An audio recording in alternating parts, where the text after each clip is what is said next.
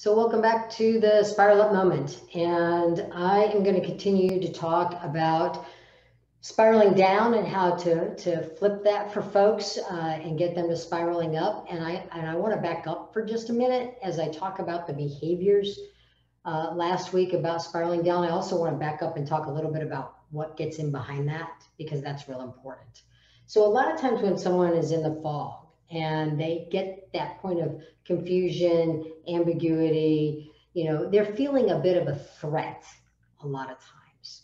And that sparks emotions and, and emotions of fear and anxiety and, and, and stirs that up. And sometimes it even triggers emotions like, you know, past experiences and things like uh, fear that's, that's shame based, right? Or anxiety that is really a big struggle for them, right?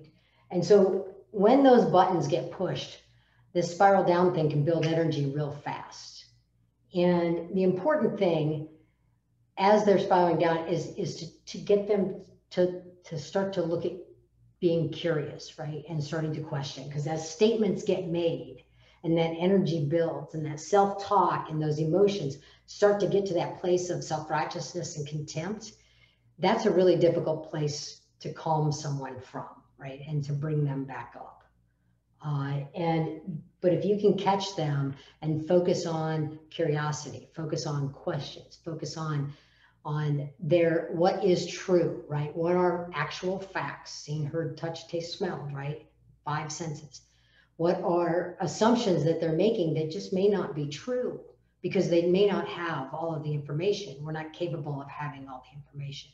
So getting them questioning those things, right? And starting to look at at even ahead to that idea of creating solution. They're not going to go there right away. This is not the time in which they're going to want to problem solve. What they need to move this direction so that they can problem solve.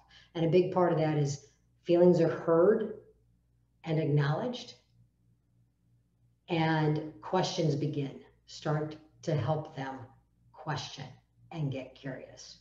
And that will start that spiral up and stop that spiral down. So, tip number one peace.